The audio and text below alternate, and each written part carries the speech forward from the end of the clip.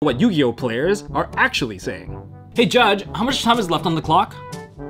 Hey Judge, how much longer do I have the fake combo until I summon Red Resignator? Dude, can you like hurry up? You're like totally slow playing me here. What is there to think about? Dude, I'm yelling to the whole world that you're slow playing me so you feel socially pressured to pass turn to me so I can win in time. You summon? Wait. Thinking.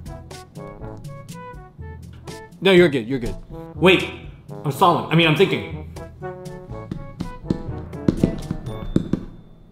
Okay, I've wasted enough time. What do you mean I'm like slow playing? I get I'm thinking, I'm thinking. I get to think on every single move that you make. Wait, what do you mean that I've been disrupting you at every point in your combo? It's my right to drain the clock of every bit of time you have, every move that you make so that you miss the battle phase.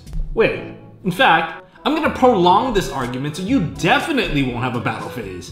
Do you guys have someone that locals like that? Follow for more, so that next time you're in time, you'll know